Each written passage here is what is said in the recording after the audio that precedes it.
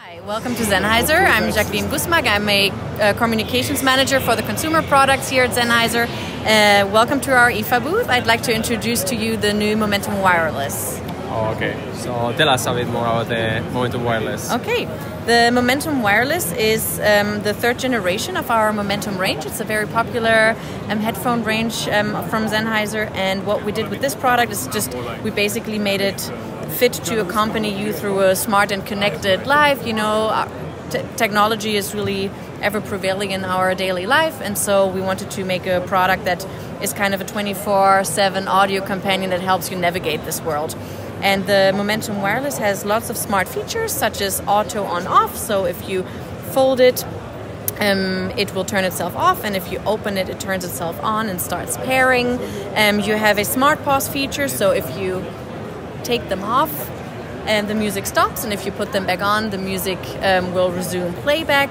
We have active noise cancellation, of course. Um, which you can tailor using the Sennheiser Smart Control app. So um, there's a regular ANC mode, but we also have two more modes to um, just make sure that you always get the best noise cancellation for whatever you need in that moment. So some people don't like um, that feeling of a pressure that they have when using active noise cancellation. So there's an anti-pressure mode that you can turn on via the app, and there's an anti-wind mode as well. Because um, if it's very windy outside, the microphones uh, that we use for active noise cancellation, they of course also pick up the wind noise. And so with this mode, you can actually turn that off, so you have a better noise cancelling experience.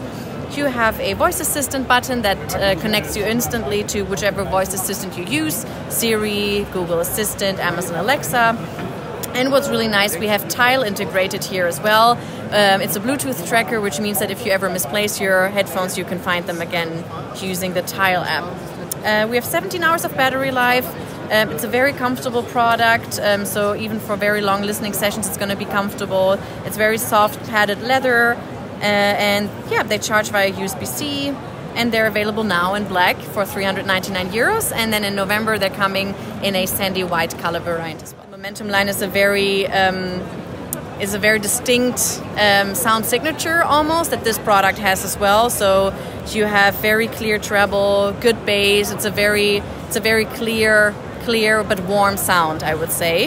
Um, you have uh, Bluetooth 5 compatibility, um, AAC, aptX, aptX low latency, so you have all of the important codecs as well that help you get the most of your sound.